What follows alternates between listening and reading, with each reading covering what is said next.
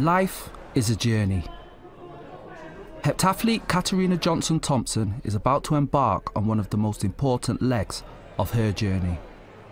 The 23 year old from Liverpool is close to her chance to compete on the biggest stage for the biggest prize in sport an Olympic gold medal. My name is Darren Campbell, and in 2004 I won an Olympic gold medal for Great Britain in the 4x100 metre relay in Athens. Four years earlier in Sydney, I won an individual silver in the 200 metres. I loved my career. Athletics gave me so much and taught me so much. I know that to win any medal, you need to work hard, very hard.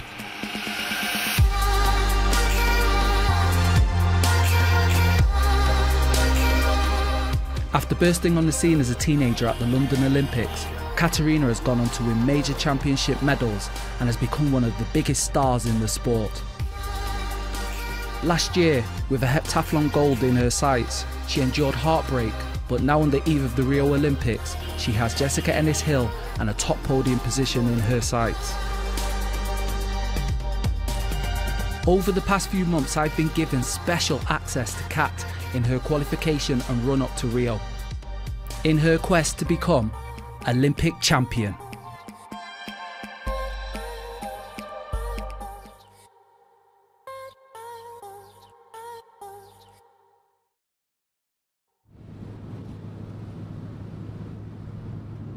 I used to live in Netherley in Liverpool and it was me, my mum, my nan, my granddad and my nan's sister all in one house growing up so I had a big family even though I was the only child.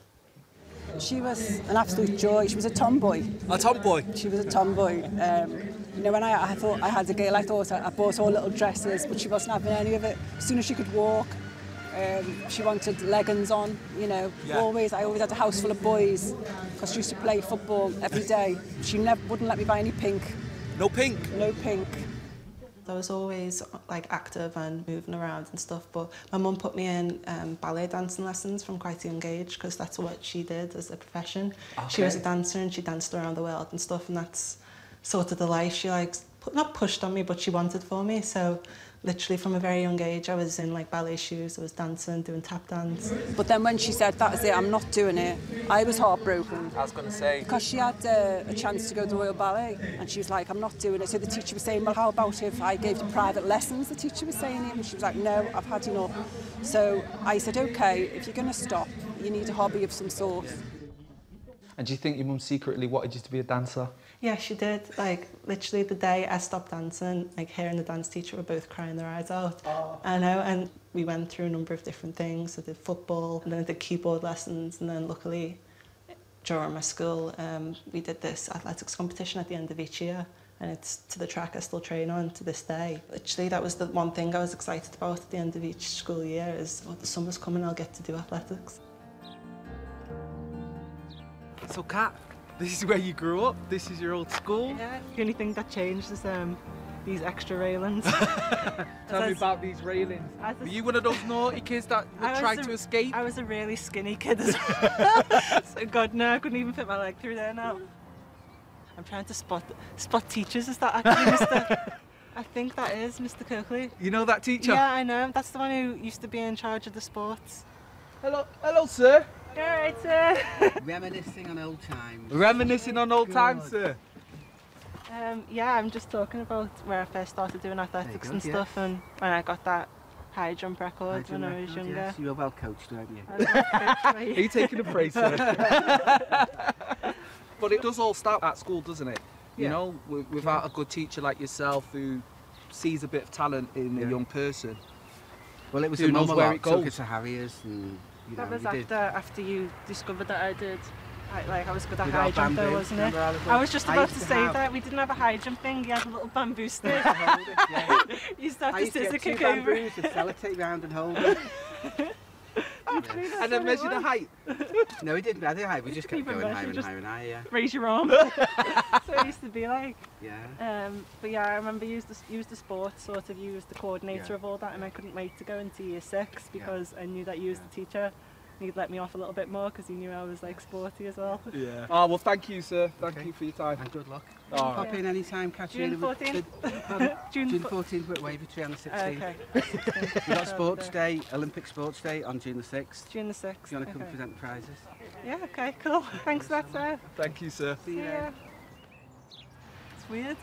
You're calling them sir as well. Like I- he said, I saw him in Tesco and I was like, "Hi, sir." Did he say you don't need to call me sir? the same height as him now as well. Like still calling him sir. It's weird. So looking forward to 2016, what is it you need to do to qualify? Get six thousand two hundred points. So you're feeling the pressure? Literally, I, I'm I'm not feeling the pressure, but I'm not gonna lie, I'm feeling like I'm mentally um, terrified of getting injured, and that's the the biggest pressure on me this year. I know that pressure all too well, and with a qualification for the Rio Olympics a must, I knew that Kat would be feeling the nerves as they prepared for two days of intense competition at the world-renowned Götzis Hypo meeting. Two years ago when Kat last came here, she lifted the crown, but this time it wasn't about the glory. It was just about guaranteeing that all-important place on the plane. Good morning, Tracy. We're moments away from the heat. Katarina's on the line. How well did you sleep and how well did she sleep last Yeah, she slept well. Yeah. Everything's okay. Yeah, we had a good sleep. Yeah, I, I, you sharing rooms? Yes. Okay, did you sleep well? Not really, to be honest. Just want to get it over with now. Just want to get it over with.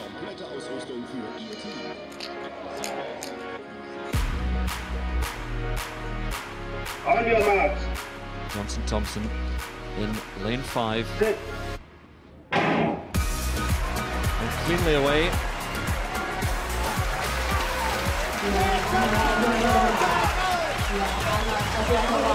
Johnson Thompson finishing strongly though, takes it on the line. Mum, Mum, you feel better? You feel better? That was so smooth. So smooth. Glad it's over. The first part's over with now, so yeah, I can breathe again now. She looked calm. yeah, she always does. It's, uh, it's me who gets the nerves. She's very calm. So you take away all her nerves. Yeah, And, and just what you, what you have in your hand. Okay. So, the first event is out of the way and a healthy contribution of points on the board towards that all important 6,200. You could sense a calmer feeling in the camp. But as Kat's long term coach Mike Holmes knows all too well, you can't take anything for granted. She hasn't jumped in competition for what, eight or nine months? Since she last jumped, she's had a knee operation. So she has to believe that she is still the athlete she was. But Kat did what she does best and put in a solid performance in the high jump, clearing 192 and putting her at the top of the leaderboard going into the third event. She's crossed off a, a couple of things like it's her outdoor personal best. She's never gone higher than 190 outdoors, Okay, which is good. okay. So two events gone, Yeah, on to shot put, but so Yeah. far so good. so far so good. Yeah. Famous last words, as good form wasn't set to continue in the shot. Kat's three attempts failed to impress her or Mike. Her furthest throw being just over 11 and a half metres, the lowest distance of all the athletes competing.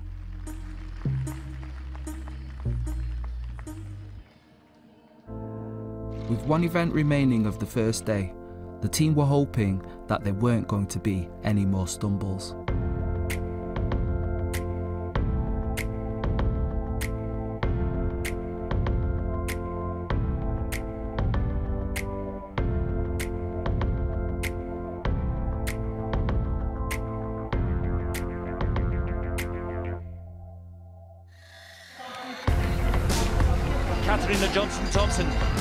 Begins to just pull away.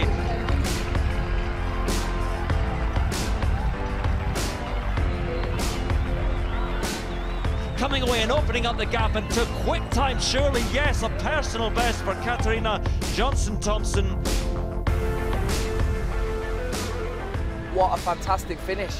Oh, a hell of a finish. I mean, the, the secret of being a good heptathlete is to come out of some sort of disaster or minor disaster like the shot, turn it around and run, uh, you know, a world-class 200 time. Really, you're never going to have, or almost never going to have the perfect seven.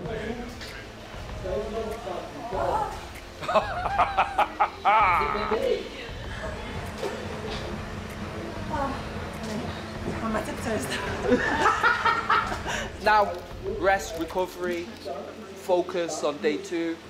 Just getting my head down, trying to get some sleep and tackling the long jump tomorrow, which is um, the big talking point on everyone's lips for me in the long jump, and uh, hopefully I can overcome what happened to me last year. And yeah, just to get that, get the Olympic qualifier, and just get my flight on the plane to Rio. So fingers crossed, nothing happens. At last year's World Athletics Championships in Beijing, Katarina was a strong favourite for gold. She couldn't have asked for a much better start to the competition, ending day one in second place, just behind Jessica Ennis Hill. And as she went into day two, which kicked off with the long jump, one of Kat's strongest events, hopes were high that she could really push for that world title. But after fouling her first two jumps, it seemed that things were not going to be so straightforward. Last chance then for Katarina Johnson-Thompson to change her fate in this World Championships. What does she do? What would you do? Do you go for it or do you play it safe? I'm feeling good, I'm feeling optimistic for the long jump. I think this is where I sort of turn my heptathlon around, well it normally is anyway, so I was, I was looking forward to it. Focus in the eyes. Johnson-Thompson, last round. Can she do it? And it looks better on the board. It's enormous! It's a huge jump. That is incredible. They're waiting. Wait a second. There's drama here because I think there's a suggestion of a nick of the plasticine. Let's have a look. I can, I can picture it in my head and I can see the board and I can see the officials and I hear the crowd. And if it's a no jump, guys already got the flag up yeah. before you even turn around. The guy's got the red flag up and there's no red flag. So I like go, yeah, I've done it. That felt like an amazing jump. My coach always said in the past as well, if, if like they have to get a magnifying glass out, it's like normally it's like, it's fine, like you can't see anything, you're actually looking for something. It's confirmed Katarina Johnson-Thompson has had three fouls. It's the end of her World Championships. Then three hours after that was just like awful, like so bad. She came to my, I said, let's just go to my hotel, get away from the So she came and stayed with me for like two days. We just sat there, had room Did service. you talk? Did yeah, talk? we talked, we okay. cried, we cried. yeah, I cried there obviously yeah, we cried yeah, together. Yeah. That's why I want to be here for her and support her in any way I can. And um, you know, these things happen. It happens in sport. If those things don't happen, then you don't learn. You know, she's learned so much, and you can see it all in her attitude this year and everything. When I got back, it was it was so strange. It was like I was just sitting in my room, and it was like that. This all happened, and I'm just back here, and you know, there's just like so like I was embarrassed I understand that feeling Kat would have had after Beijing. It feels like you'll never recover and move on from that moment. And in her case, that moment was the third red flag in the long jump. But she's a top athlete, and she knew that she had to use that experience to push herself even harder, to make sure that she got what she really wanted.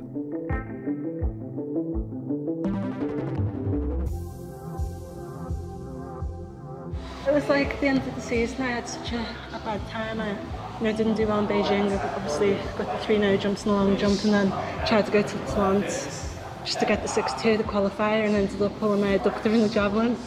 And then I came back from holiday, and pretty much 6 a.m. the next day I was on an operation table because I just wanted to fix my knee. I just didn't want to bring attention to negative attention to myself as well, so I just kind of kept quiet and now. I was on crutches for two weeks and slow build up and but now things are flying. I'm jumping pain three, three for the first time since about 2010, which is just um, just a whole different me in person. It's crazy.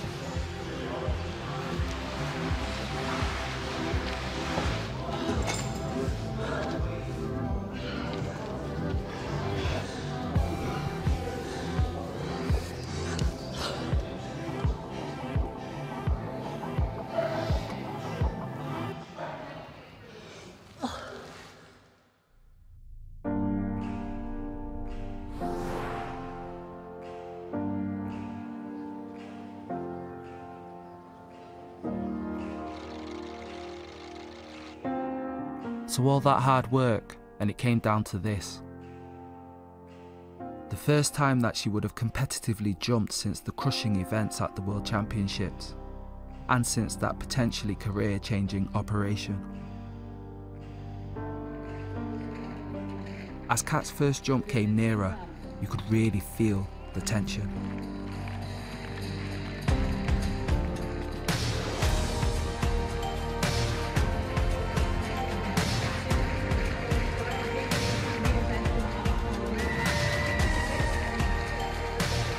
And the smile said it all. 613. So that's safe. It was behind the board. It looked behind the board, didn't it? Yeah, way behind the board. Hey, listen, we'll take safe.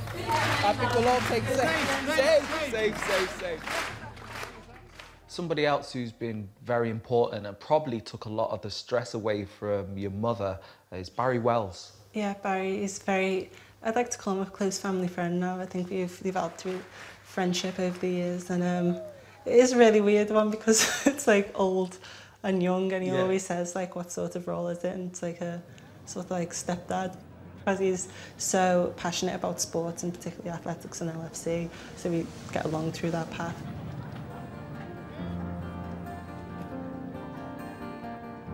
When did you meet Kat and when did you spot that talent?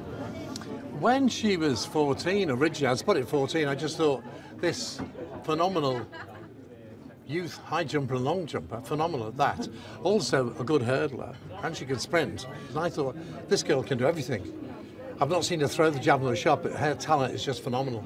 Um, so at that stage, I think in 2008, I then decided I'm going to sponsor about 20 athletes going right through to 2012. And I decided to pick out the 15-year-old Katarina. You know, to my absolute astonishment, UK Athletics said to me, we never heard of her. We've never heard of her. Um, do you really want to sponsor her?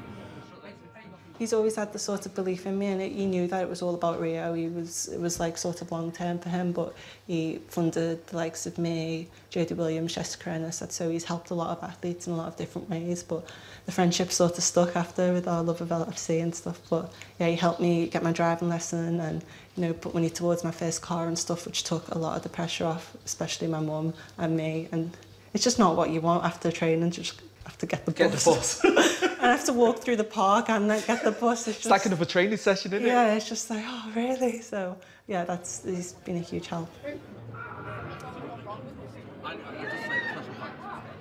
It's great that with her success, she's giving back. Um, obviously, but she know, is. She appreciates she, what you've done. She's a patron of it. She comes along and hosts events. The kids love it when they're here, especially the young athlete. Uh, they, they can't love it when she's here. What do you think the score's going to be today? Chelsea aren't very good anymore at the moment, so I'm going to go 3-1 Liverpool.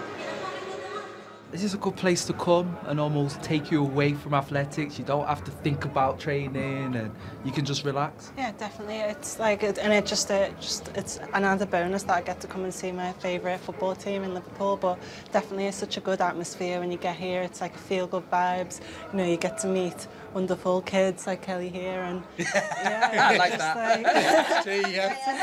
yeah yeah, it's good to like bond with the kids. And, and it really does. Them. Uh, you can see the, the time we've been here. It really does raise their spirits, doesn't it? Yeah, definitely. You okay there?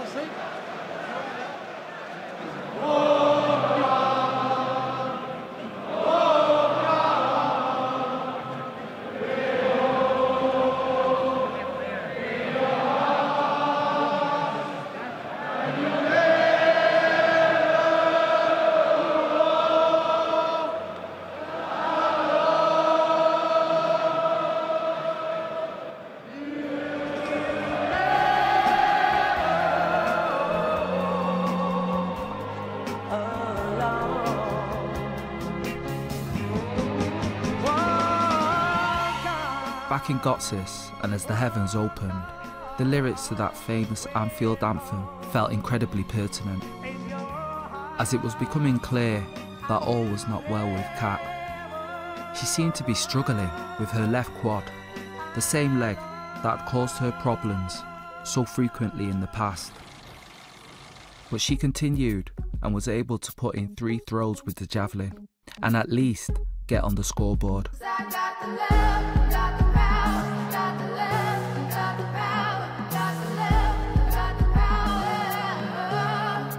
Once, it might have been about coming out on top.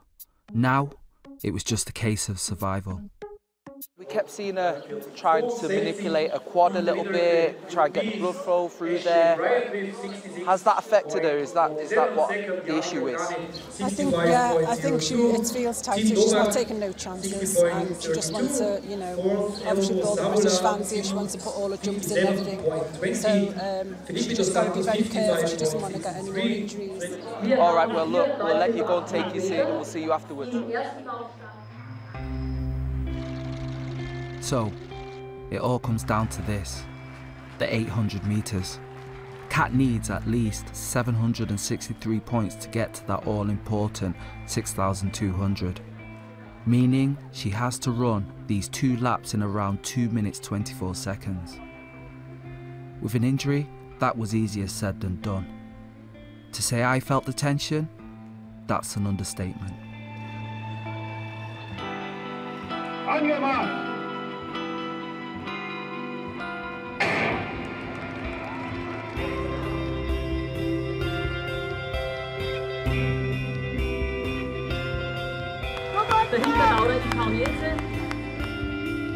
As you can see, Katrina Johnson Thompson going through, sitting near the back, and she'll just make sure that she runs quickly enough to get the points.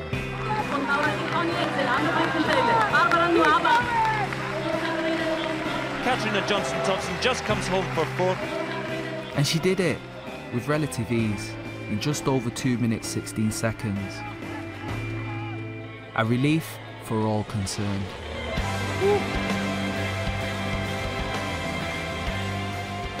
Mike, relief? Yeah, well, it's it's not what we came for, to be honest. I mean, we came here to challenge, you know, for the leaders. But as the competition evolved, and Kat picked up a, a little bit of a problem in the 200 at the end of the first day, you know, the thing was in jeopardy for a while. So to come through the 800 with the score we need to qualify for the Olympics, that's, I suppose, you could say it's it's satisfying relief. Yeah. It's been tough. Let's be fair. The last the last nine, ten months have Yeah. been really, really tough. There's been a lot of highs and lows, and even the two days here, there's been a lot of highs and lows. The worst case scenario could have been having to do another heptathlon Yeah. before that would Rio. have been that would have been disastrous. Really, really, that would have really put the whole Olympic year in jeopardy. You know.